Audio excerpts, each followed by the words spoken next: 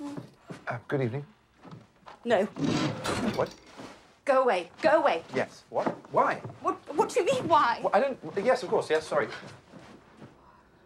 What are you doing, Mr. Wain? What do you want me to? I don't Get understand. out! Oh, yes. Sorry. Right. Yes, of course. Sorry. I apologise. I am under your employ, Mr. Wain, but I do not expect to have to tolerate you barging in here after hours while I'm. Well, it doesn't matter what I was doing, does it? Yes. No, sorry. Of course. Um, it's just I have so many sisters that sometimes I forget that it's. Were you painting something? Well, that's none of your business, Mr. Wain. But yes, if you must know, I've got a drawing lesson with the girls tomorrow. And all you Wains are such accomplished artists that I rather thought I could do with a bit of preparation, that's all. I see.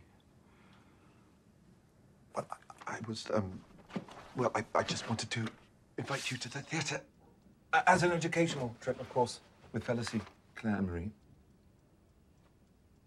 Sorry again, Miss Richardson. I do apologize. I'm terribly embarrassed. It's just I was excited to share the idea with you, and I just don't want you to think you have to be cooped up in this house all the time. That's all.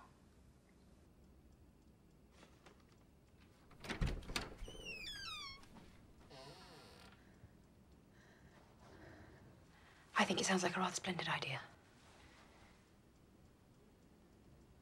Please just knock the next time that you wish to see me.